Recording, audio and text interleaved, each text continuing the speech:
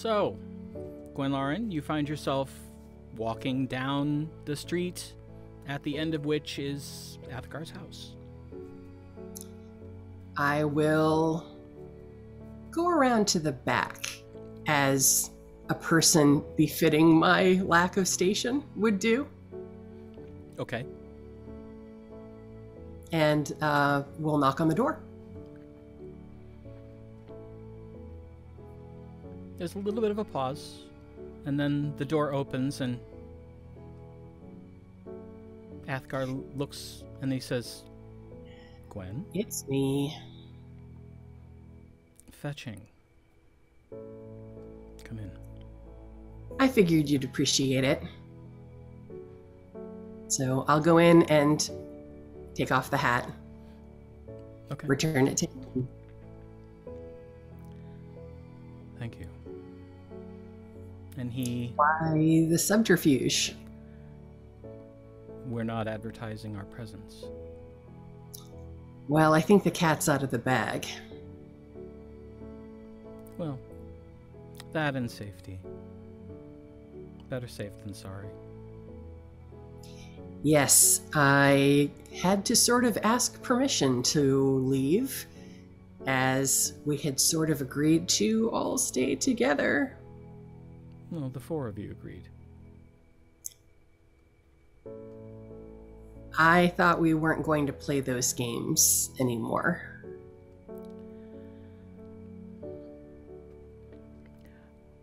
I figured if I was in my hometown, I could move about as I saw fit. Were it anywhere else, I would have at least left, at least left a note. I think there are some amongst the group that would have preferred that you left a note anyway, and who are probably not very happy with you right now.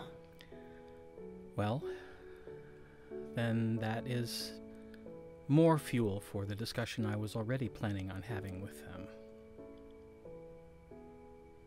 Let me guess. You're leaving. I hope not. Okay. Then what's going on? Well, it's been an interesting day.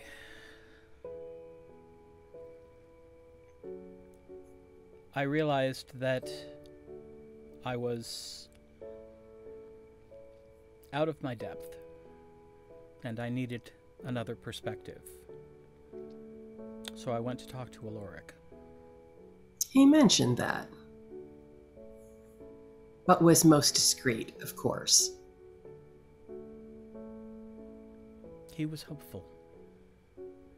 But he also made a couple reflexive remarks, honest in their surprise, that set me thinking about other things as well.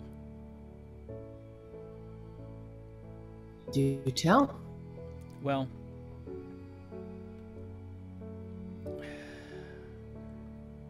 I mentioned to him that there were certain things happening which had led me to begin contemplating if I should step away. And I happened to mention that I wasn't exactly certain what I would do since I'm sure my father is furious at me for shirking my responsibilities here. And that statement made him laugh. And at first I took offense, but then he quickly explained something that had not occurred to me. That the That- responsibilities that my father set for me were guarding a gate to the inner enclave and preparing to marry whoever he chose for me. Yeah, And that's Aloric thought that extremely inappropriate for someone who will perhaps one day take over as Lord of the City. He said, in terms of preparing me for that, I would be better off to apprentice with Wiggy. He's not wrong. I bet this is not how your father prepared to lead. Oh, no.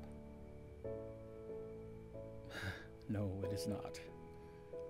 My grandfather had father out in the sands as part of an elite patrol.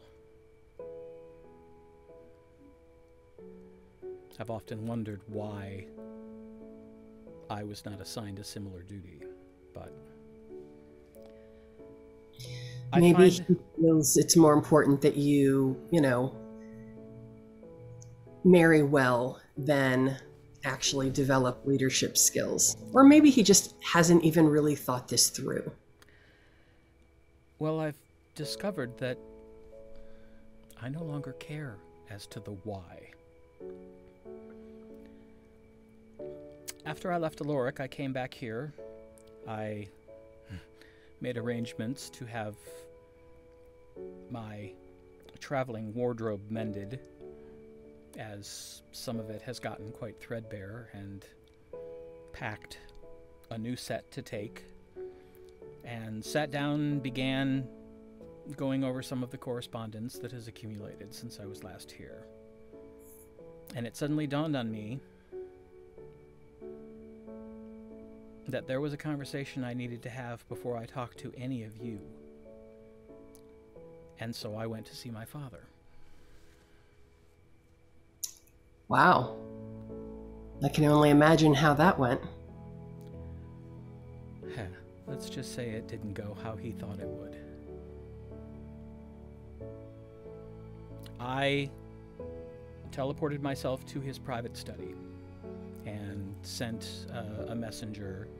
Um, you met her. Uh, I used the same messenger to send the cap to Alorix. She was adorable. She is halfling, correct?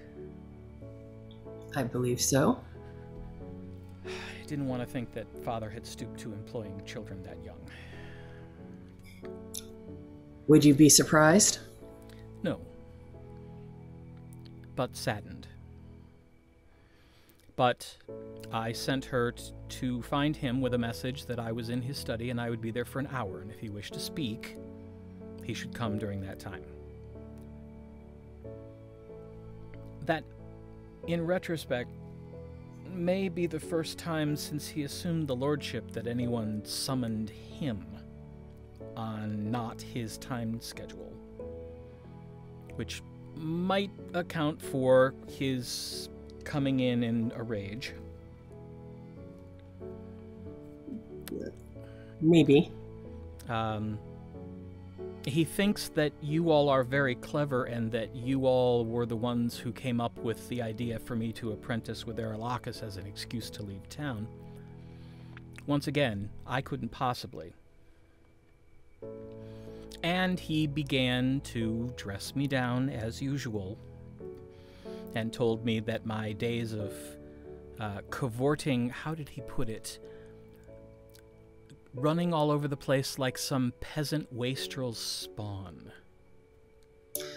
Ah, like me. He didn't say. Your name didn't come up. And proceeded to tell me that I would return to my guard duties and that he was close to completing a marriage with a young noblewoman from Romani Keep. I see. At which point I lost my temper. Something I try very hard never to do.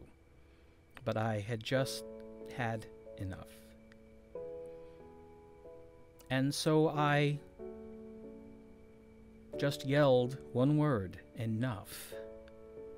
I might have magically amplified it a bit beyond my normal voice.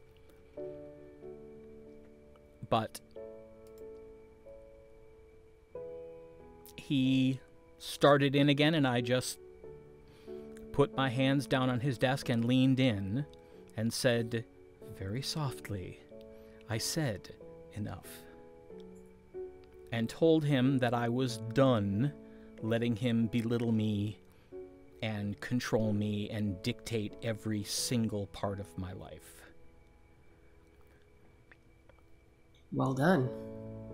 I explained something that I don't believe had yet come to his ears based on his reaction that I had been places and seen things that he had never experienced, that I had suffered countless injuries and even died once. Oh boy. And I said, Yes, I died. Arabelle brought me back. That was months ago, by the way. And I'm here, walking, talking, and finally deciding my own fate. And I explained to him what we had been doing for the last five weeks. At which point he accused me of being senile or doddering because the Thwilnu are not real. Oh. And so I utilized a bit more magic and explained the sequence of events to him while shifting my form into those of the various Thwilnu, the various horrors, and our companions that were modified.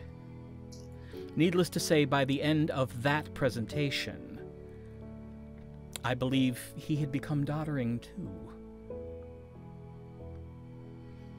Okay, remember when you all gave me hell for describing what we've been doing? Well, yes, but this is one of the leaders of the of the land. He would have been notified officially. But perhaps without the graphic display of a visual. I felt that was necessary. I wanted to get through that shell of ignorance that he carries. Oh. Is he sane? Yes, and still very angry. But I explained that this is what I've been doing. I have not been cavorting. I have not been seeking to escape these pathetic responsibilities here, but that I have been working with a group of professional adventurers to save the entire land and to save an entire northern community, our sister city to the north. There are only two barbarian strongholds in all of Aecathan. And then I said, and don't get me wrong, Father. If my clan needs me, I'll be here. If my city needs me, I'll be here. I remain loyal to Thunder's Edge and all her citizens, but I'm done being the target of your unhappiness.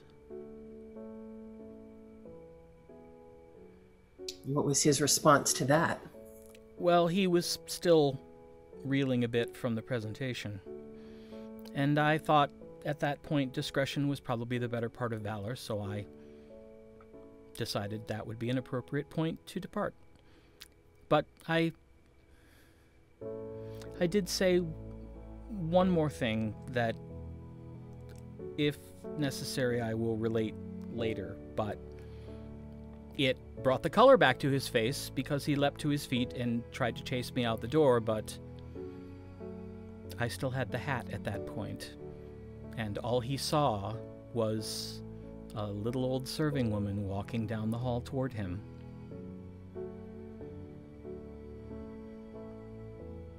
And I immediately curtsied and walked quickly as befitting a servant station and left.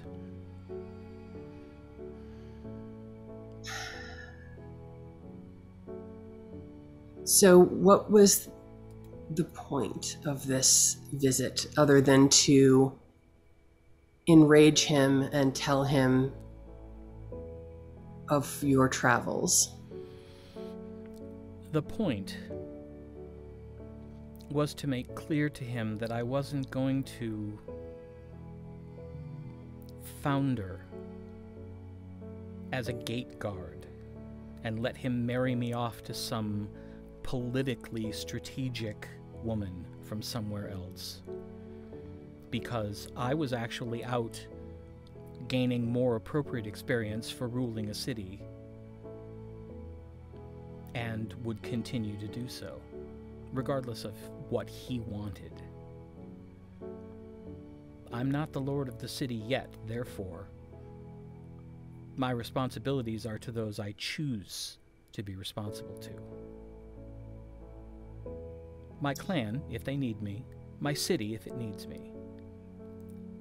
But I'm done jumping at Father's whim. I've seen too much and experienced far too much. Does that mean that you're committing to travel with us? Possibly. That hinges on the actual reason why I asked you here.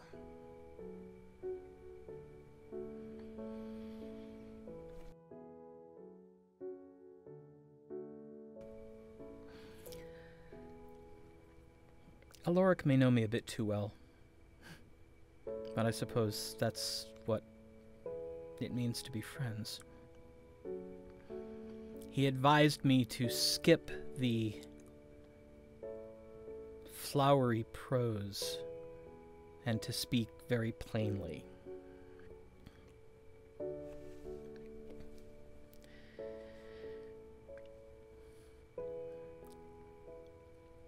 I blame a good part of this on you. You were tasked with. Please. You were tasked with taking care of me when we were growing up. And I don't think you liked me very much. Looking back, I don't blame you. It wasn't you, it was the situation. I was a servant. I mean, there's not much to like about that situation. Still, I have known some servants to bond quite closely with their charges. I thought we had a sort of bond. I. well,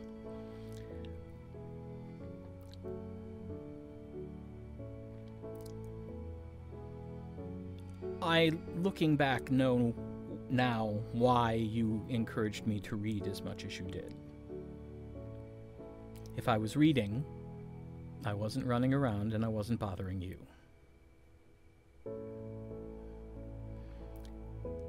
But read I did. Histories and fables and fiction.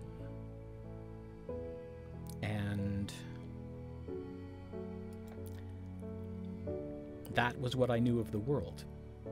And so many of my opinions about things were formed from those histories and those narratives.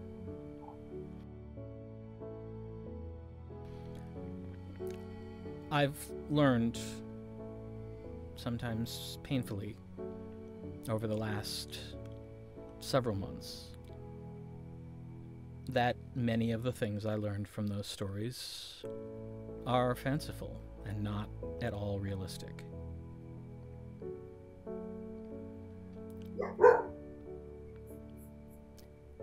But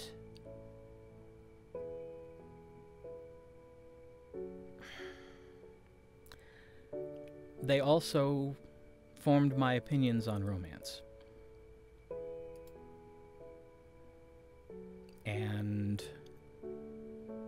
That's one area where our travels have not given me different insight. I've not seen many happy couples, save perhaps for Arabelle's parents.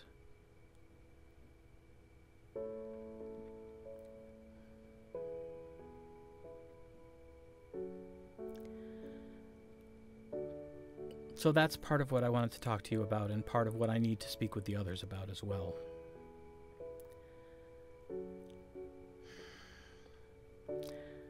It's also interesting when a friend yells at you. Not yells, but makes rather pointed comments.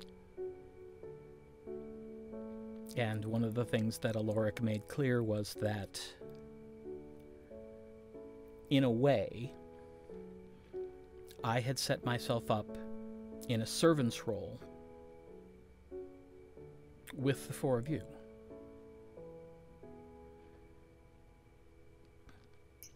Okay. I don't think any of us would agree. Mm. Well,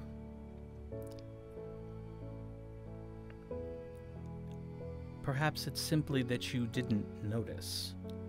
Because it's the role I've been in since I started traveling with you. So it's simply how I've always been. But Aloric pointed out to me that if something was truly important, I was allowed to speak up for myself about it. And I haven't. So, this is the beginning of me starting to speak up for myself. Now, with regards you specifically, I think you know that I love you. What I wasn't prepared for was the actual falling in love with you. Oh. And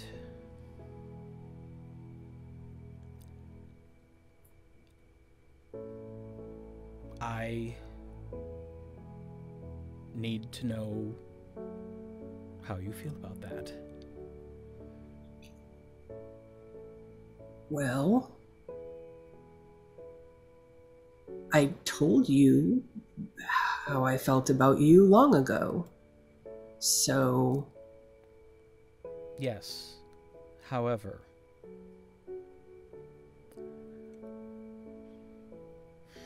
I was taught by my master that part of observing a character, part of observing people, was to listen to what they said, but moreover, to pay attention to what they did. You have said how you feel. But then,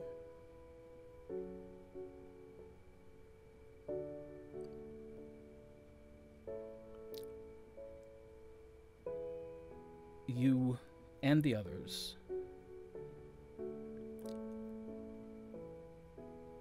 React.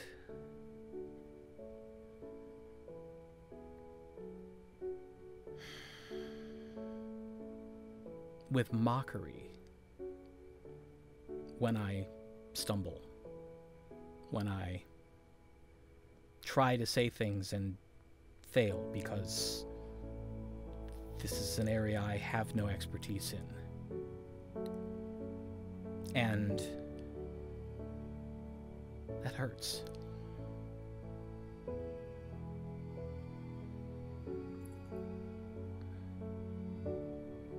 I apologize. It was never my intent to be hurtful. I think we have teased you because, well, I can't speak for the others. I can only speak for myself. I have teased you because while I did speak plainly quite some time ago, you have not prior to now. And it is easier to make light of the situation than it is to admit that it's been difficult knowing that you have this information while I had no such confirmation of any feelings on your part. So it was easier to make a joke of it than it was to continue to wear my heart on my sleeve.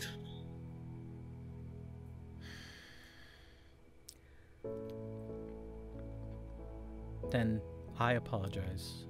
I accept my fault in that. It wasn't to say that it's your fault.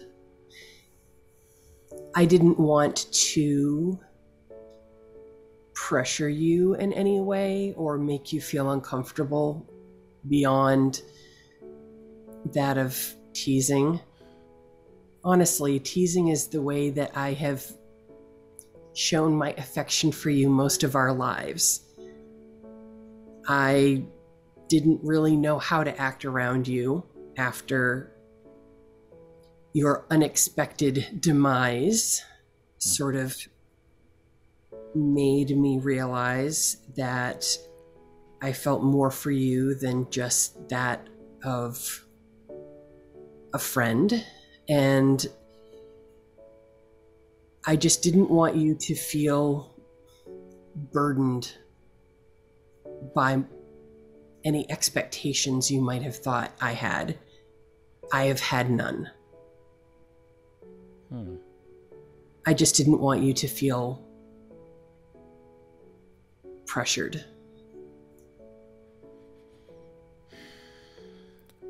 Well, if you ever do have expectations, I'd like to know. I didn't think it was realistic to have expectations. You've really not indicated any interest until now. We we haven't had a lot of time for such things. In the midst of slogging through horror ichor is not exactly the place to blurt out I love you. That is true. That is true. It's it's an awkward situation in that I don't really want to have feelings for anyone. And so it's been rather uncomfortable having them for you and thinking you did not share those. So I've been trying to keep my distance since all of my prior attempts to show you through action backfired spectacularly. And I heard about it from everyone. And it essentially drove you away. And to be clear, when you said you thought that I didn't like you very much when we were younger, that's not true. I liked you quite a bit. It's just when you have had loss, as I did, when you've been taken from your family, you don't want to depend on anyone because they could be taken away too. And as a person who had no power at all in that situation. I knew that with a snap of his fingers, I could be executed, banished, or simply just parted from you, and I would have no say in any of the outcomes that Lord Tremaine might have in mind for me. So it didn't seem wise to form any connections because they could be gone immediately. and there wouldn't have been a thing I could do about it. And yet, you managed to still wheedle your way into my affections despite every attempt I made to run you off and give you other things to do.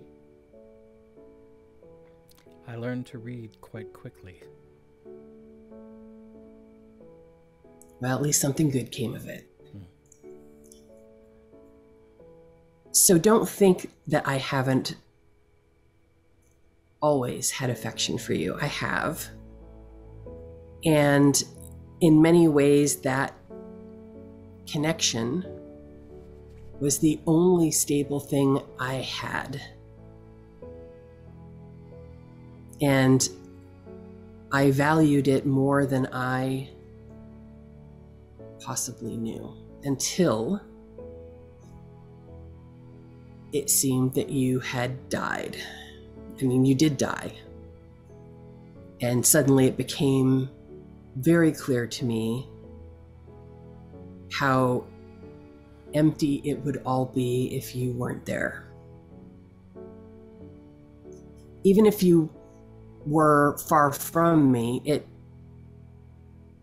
it was just nice knowing that you were still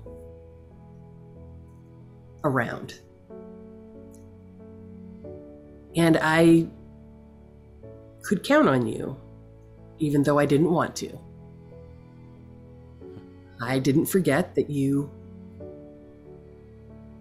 brought the others, the rest of the four, to find me against your father's wishes.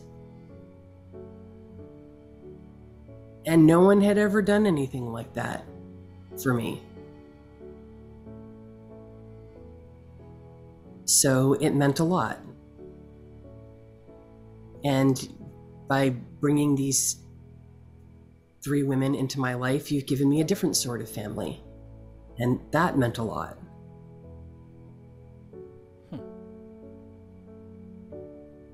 So I'm very grateful to you for these things. But there's also a part of me that is constantly waiting for you to take off, for you to be taken away, for you to disappear.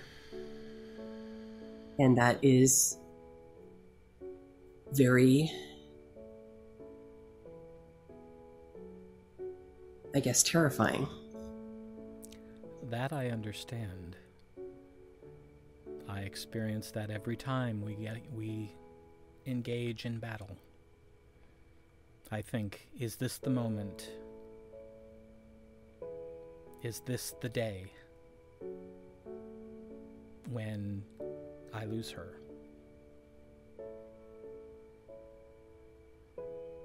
Well, that's kind of lovely. I mean, sort of. I'm saying that at least I understand.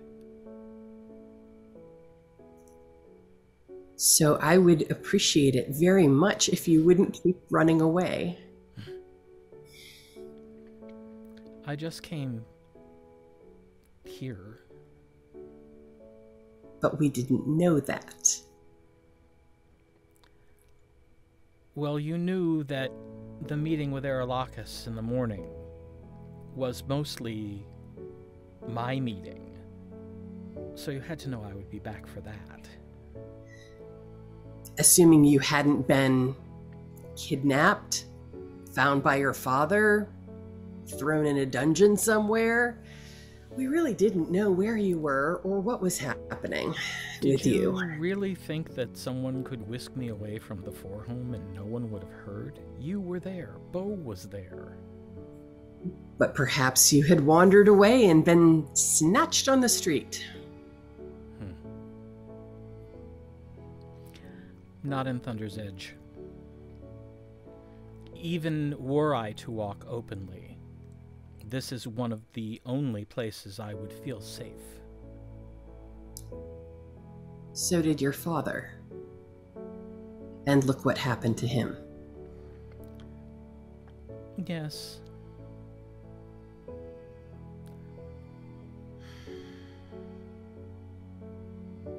But Father is, I hope, significantly more arrogant than I am. Oh, I think you have your fair share. Agreed. Arrogance. but I would like to think it's tempered with some intelligence and some small amount of wisdom. I have learned an enormous amount in the last year or so. You have. You have indeed. And I know that you may have felt that you shouldn't speak up and share your thoughts, but do recognize that they were always welcome. So, the thoughts of a servant are not welcome, and yours have always been. We've asked your opinion.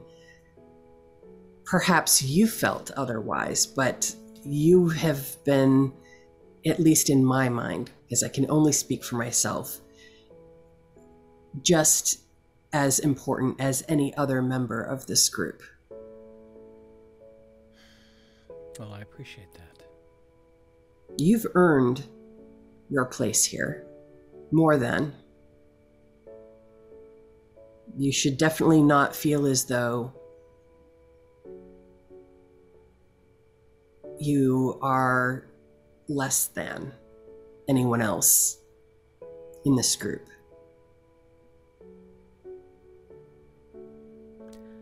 Well, not less than, but different than.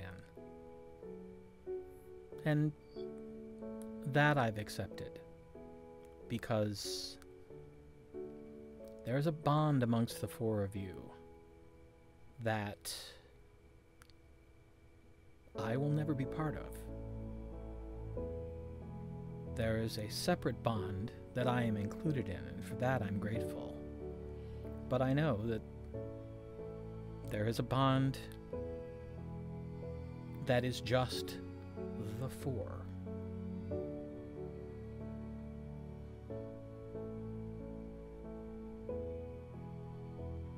It's taken me a while to reconcile that.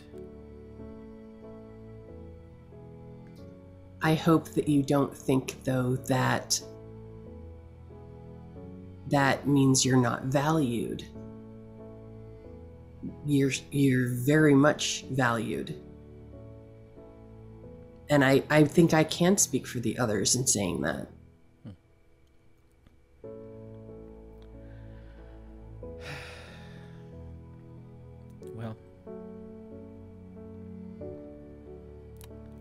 hope you're right. I know i'm right. We'll see. What is it that you are thinking about doing?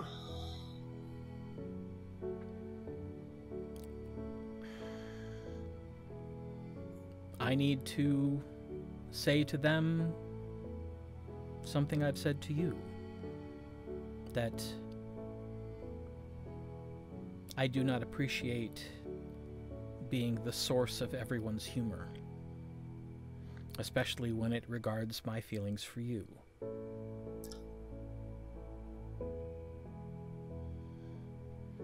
Fair enough. I don't think that. I know, at least for my part, that it was not clear that you had feelings for me. Well, it doesn't seem that others were taking seriously the possibility that I might. And again, perhaps it's because of the way my opinions of love and romance formed, but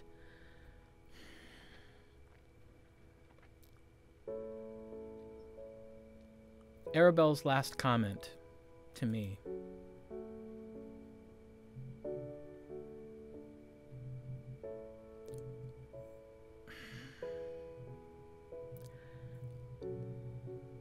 I don't.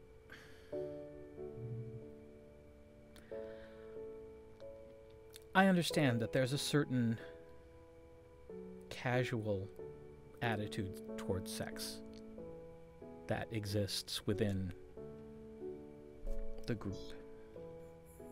And it's a great source of humor. And with anyone else, I suppose that doesn't bother me.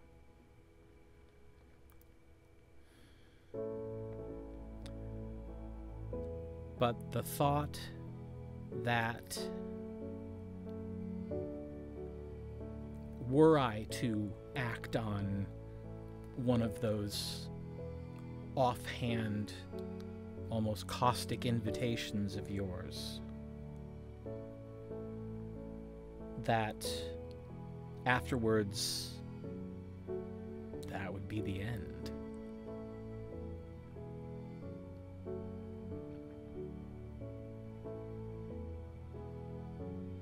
I don't like that.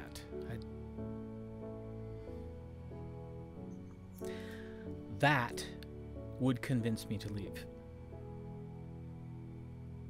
Ah.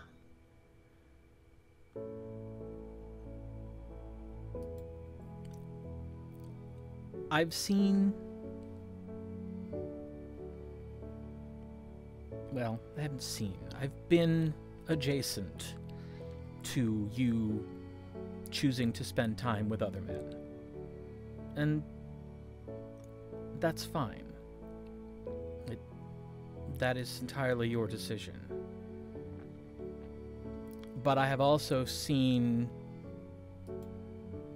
a very casual attitude of almost like playing badminton. Well, that was fun. Maybe we'll do it again sometime. Ta. From me? Yes. Indeed.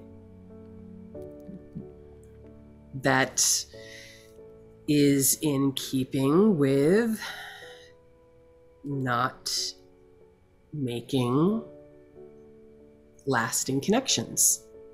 You can't lose what you don't really have. I understand, but in the absence of any other information, thinking that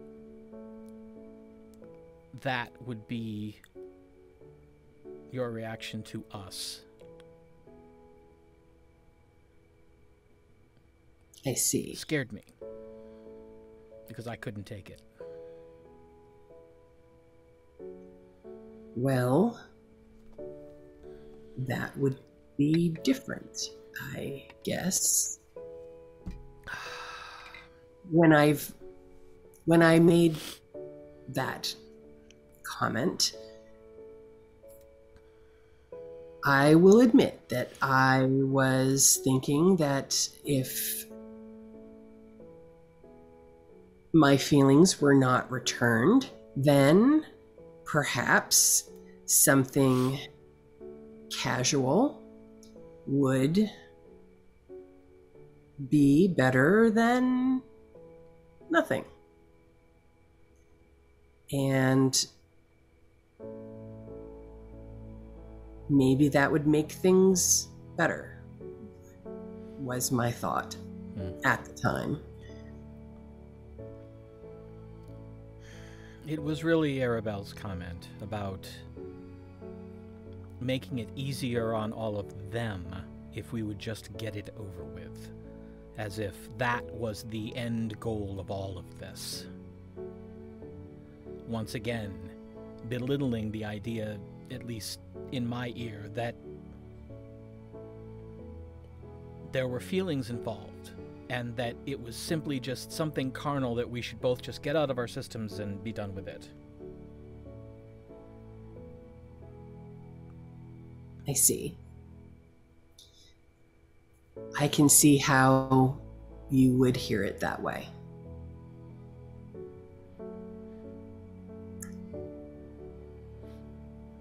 And in all honesty, it's not that I haven't considered it. But I realized that the act itself wasn't the most attractive thing about it. But if all you were seeking was something casual, that what I was seeking wouldn't happen. I see. Well, what you're talking about is significantly more dangerous. you think I don't know that? So.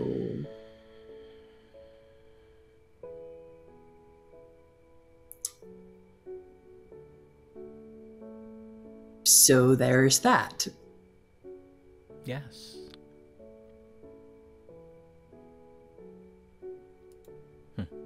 I suppose this is as good a time as any. The last thing I said to Father on the way out the door was that he shouldn't worry about my social status, that there was a woman I was interested in courting, and that he shouldn't worry because she was a noblewoman. Ah.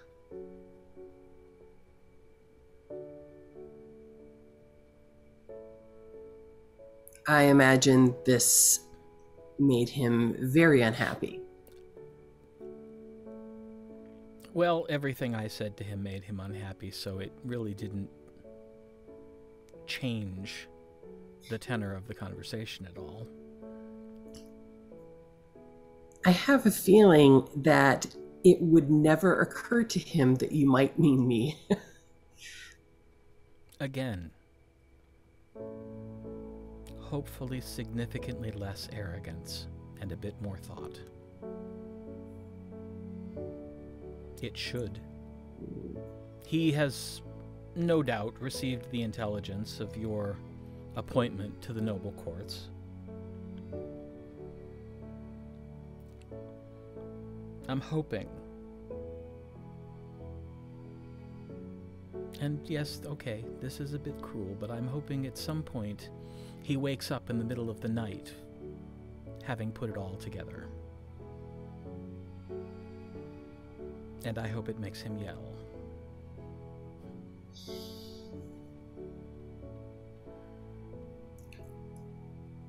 Would you think less of me if I said that I hope so as well? Absolutely not.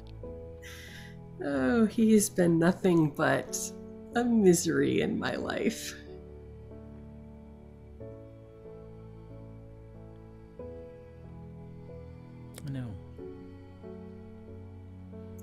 I wish I'd. I wish I'd been aware of it sooner. I don't know if there's anything I could have done, but I would like to have tried. I appreciate that.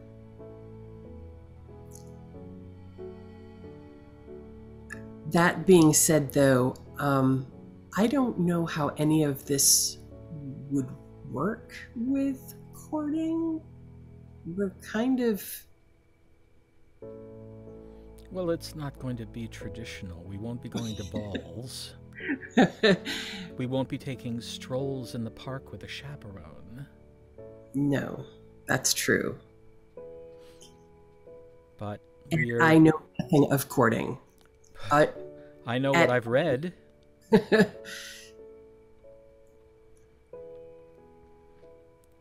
Does courting involve killing monsters together? Because that we can do. There were a few books. Teams, couples, who adventured together. Really? Yes. Then you may know more about this than I do. Again, I know what I've read. But these were not histories, these were fictions. So I don't know how much credibility to place in any of it. Well, I do enjoy adventuring with you. I suppose this would be a sort of adventure? It would be a different kind of adventure. It would probably be more akin to figuring out noble culture than slaying orcs. But, on the other hand, we don't have to learn anyone else's rules. We just have to agree on our own. I actually like the sound of that, as I've not ever done particularly well at adhering to anyone else's rules, whether your father's or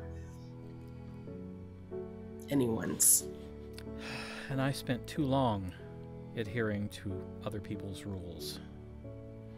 And I'm discovering that I quite like making my own.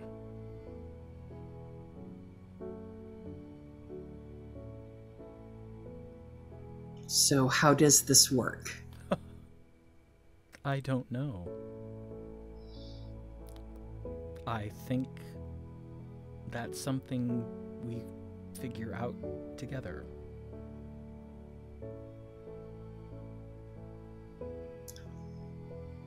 Well,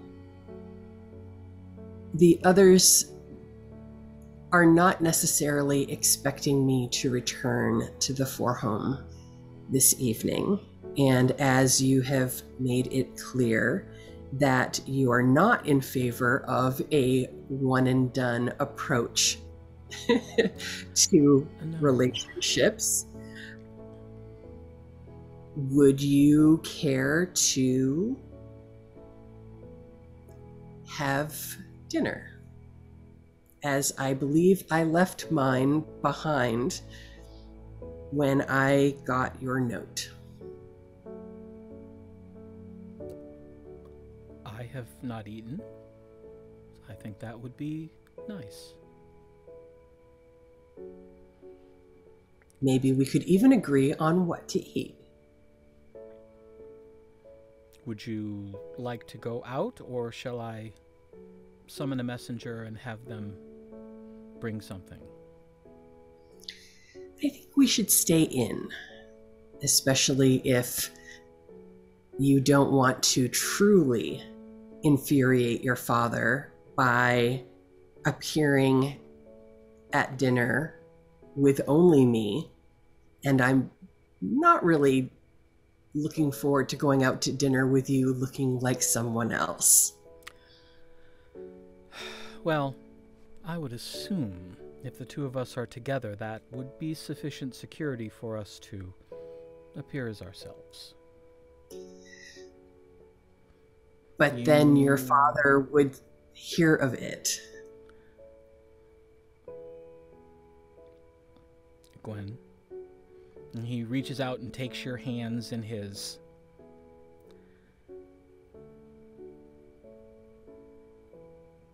Where we are concerned, I don't care what my father thinks. He is not going to be part of this.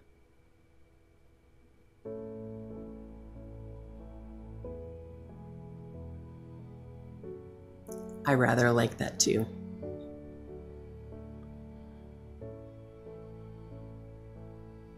But perhaps it might be wise to keep this from him for at least a bit. Maybe until at least when we're out of town. I I do worry that uh, after the way the two of you parted, reports that you have been seen in only my company might be met with, oh, I don't know, armed guards coming to fetch you, perhaps, and Oh. haul you back to. I'd like to see them try. You don't think he could force you Oh, to no. return? How could he?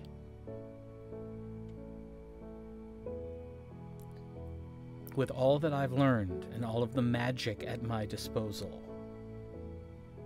how could he? When, in almost the blink of an eye, I can have us clear across the country. You don't think he would ask Aralakis to intercede?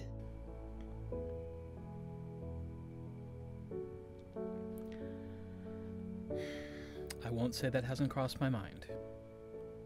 But, first, I don't think Aralakis would agree at this point.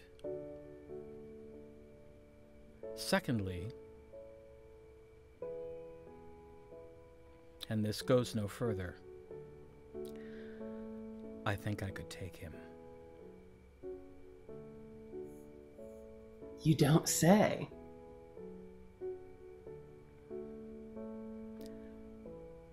I know his mind. I've seen him work. I don't know that I could defeat him, but I do believe I could definitely escape from him. And as long as we wear these, and he holds up the, the talisman, he can't find us. He could send me messages, which I could choose not to reply to.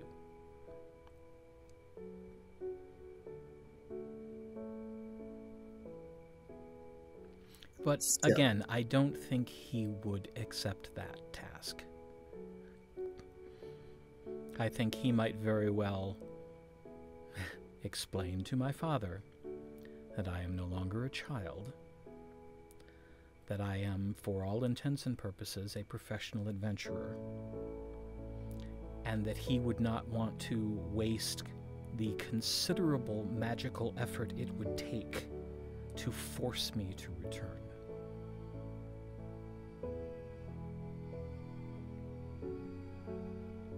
I like to think that, at least in some small way, I've earned his respect at this point. You have. I I think he's rather fond of you. Mhm. Well, I can't imagine him turning on you.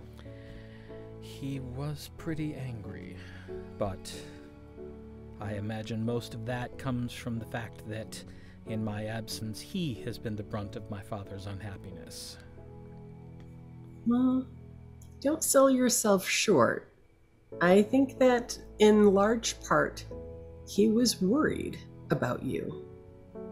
The fact that your father took his ire out on him, I'm sure, didn't help. But I think he was genuinely concerned for your welfare. Hmm. He dotes on you. Otherwise, why would he have taken you on in the first place? It would have been infinitely easier to not.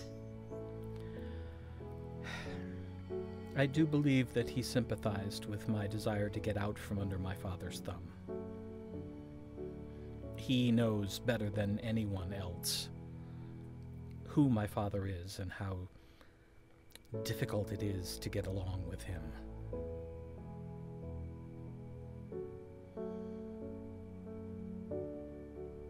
And yet,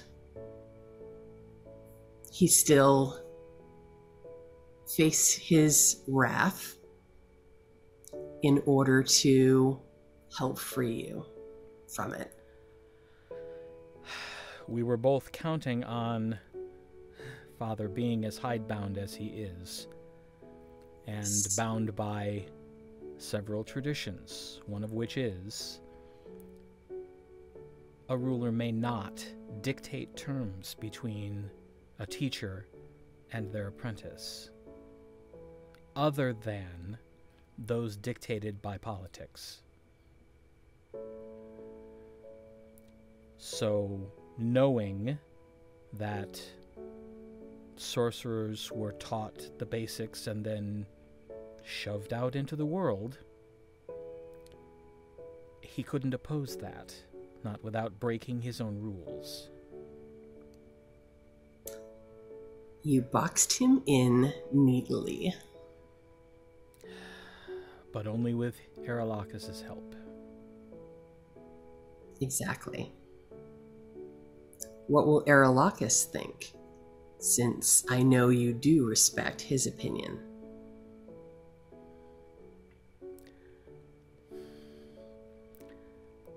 I don't know for certain. Uh, relationships have not exactly been a topic of conversation between Arelakis and I.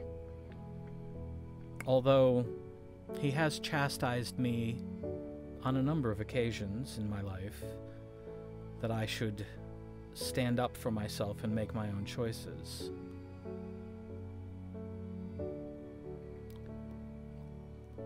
I would hope he would be proud of me for doing that. I'm sure Whether he agrees with the choices or not, I don't know. He's at least been kind, respectful. He appreciates competence. And you are nothing if not competent at what you do. Well, thanks. It's not a compliment, it's just a fact. You hold your own against a paladin, a sorcerer, and another bard. It's just a fact. Speaking of facts, how long have you known your feelings? Oh, As I had not a clue. well, as I said, we had not opportunity really.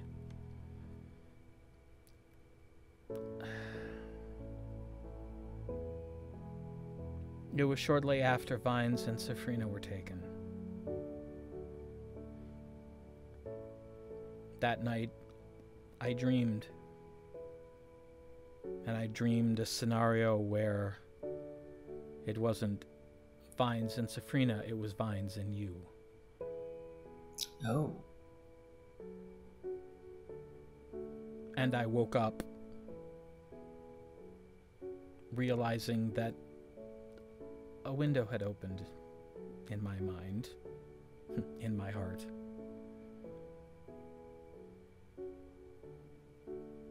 And thus began the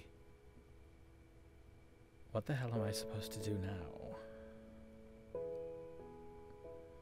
And then there were Thwelnu.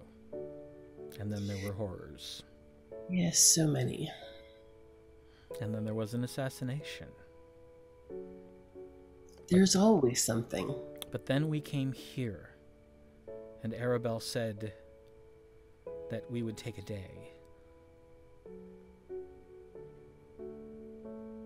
And Aloric said, make the time.